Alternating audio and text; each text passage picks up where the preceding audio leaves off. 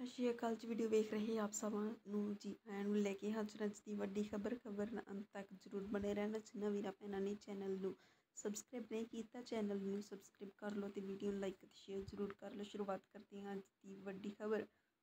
ਪੰਜਾਬੀਆਂ ਨੂੰ ਲੱਗੇਗਾ ਵੱਡਾ ਝਟਕਾ ਇਨ੍ਹਾਂ 11 ਥਾਵਾਂ ਤੇ ਹੋਰ ਨਵੇਂ ਟੋਲ ਪਲਾਜ਼ਾ ਪੰਜਾਬ 'ਚ ਲੱਗਣ ਜਾ ਰਹੇ ਹਨ। ਇਸ ਦੇ ਨਾਲ ਹੀ ਭਾਰਤ ਮਾਲਾ ਪ੍ਰੋਜੈਕਟ ਤਹਿਤ ਦਿੱਲੀ ਜੰਮੂ ਕਟੜਾ ਐਕਸਪ੍ਰੈਸ ਵੇਵ ਅਤੇ ਰਿੰਗ ਰੋਡ ਪ੍ਰੋਜੈਕਟਾਂ ਦਾ ਕੰਮ ਤੇਜ਼ੀ ਨਾਲ ਚੱਲ ਰਿਹਾ, ਇਸ ਦੇ ਨਾਲ ਹੀ ਜਿਵੇਂ ਹੀ ਇਹ ਸੜਕ ਦਾ ਜਾਲ ਵਿਛ ਜਾਂਦਾ ਜਾਵੇਗਾ, ਇਹ ਉਵੇਂ ਹੀ ਪੰਜਾਬ 'ਚ ਨਵੇਂ ਟੋਲ ਵੀ ਲਗਾ ਦਿੱਤੇ ਜਾਣਗੇ, ਜਿਸ ਕਾਰਨ ਨਾਲ ਪੰਜਾਬ ਦੇ ਲੋਕਾਂ ਦੀ ਜੇਬ 'ਤੇ ਸਿੱਧਾ ਅਸਰ ਪਵੇਗਾ। ਪੈਂਤੀ ਹਜ਼ਾਰ ਕਰੋੜ ਰੁਪਏ ਦਾ ਲਾਗਤ ਨਾਲ ਇਹ ਪ੍ਰੋਜੈਕਟ ਬਣਾਇਆ ਜਾ ਰਿਹਾ, ਇਸ ਦੇ ਨਾਲ ਹੀ ਇਹ ਪ੍ਰੋਜੈਕਟ ਵਿੱਚ ਪੰਜਾਬ ਵਿੱਚ 11 ਨਵੇਂ ਟੋਲ ਪਲਾਜ਼ੇ ਵੀ ਬਣਾਏ ਜਾਣਗੇ। ਟੋਲ ਸ਼ੁਰੂ ਹੋਣ ਬਾਅਦ ਹੀ ਉਹਨਾਂ ਦੀ ਫੀਸ ਤੈਅ